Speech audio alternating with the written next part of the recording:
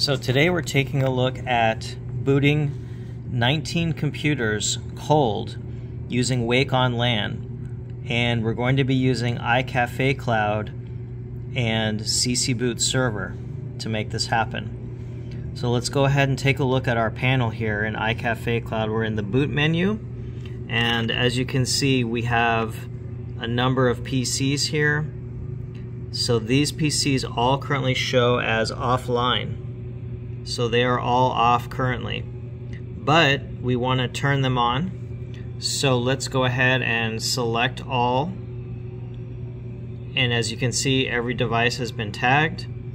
And now we're going to go ahead and right click and we are going to choose to power them on. And before I do that, I'm going to show you the physical arrangement so you can see that these machines actually are off.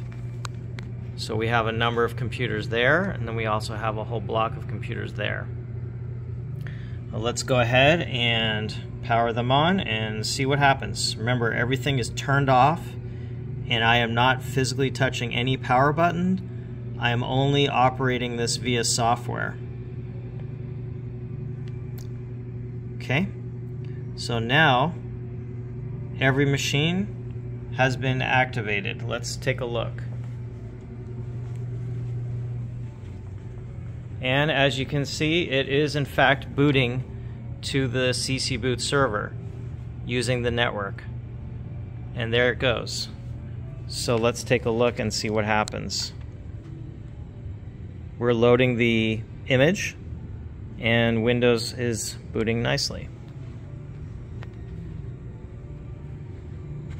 We're going to go ahead and try and keep some track of the boot time and I want to say the entire process is going to be only about two minutes or so.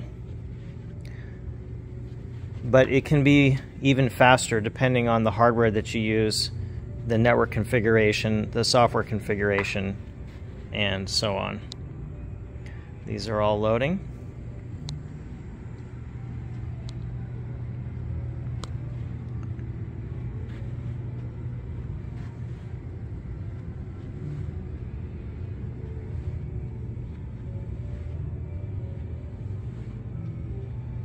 As you can see, it's loading Windows.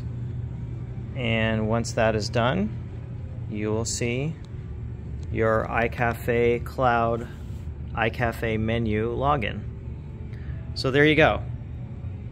Took a little over two minutes, not bad. And everything is network booting. We have no local drives in any of the computers here. So that would be a demo of the amazing power of CC Boot and iCafe Cloud deployed to an esports LAN gaming center. When set up and done properly, it's incredibly powerful.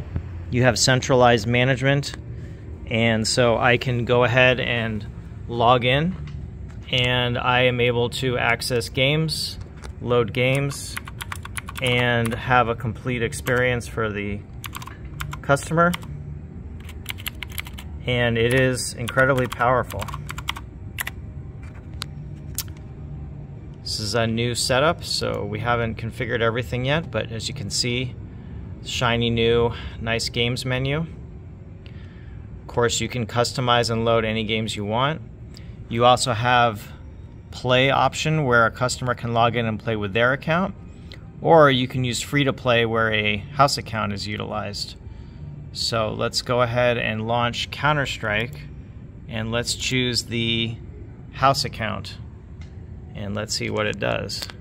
And what you would expect is that it's going to go ahead and load Steam and then log you in automatically, which it now has just done. And of course, because all the game updates are happening on the server, we don't have to worry about individual PC updates ever we can simply make updates on the server and that will push the game update to every machine. And as you can see, pretty quickly we were able to load CSGO and it's just finishing the loading process right now. We've got uh, basically five-year-old equipment here in this example and runs surprisingly well considering Um, this is, again, from five years ago. But with more modern equipment and a better network setup and some other pieces, you can have this thing loading and booting in no time at all. So there's your full solution, per perfectly working, very smooth, and very happy with uh, the solution that they have here. With the Youngzsoft guys, they really came up with an incredible um, way of managing and running centers. It's uh, extremely powerful and very well done. Thank you for watching.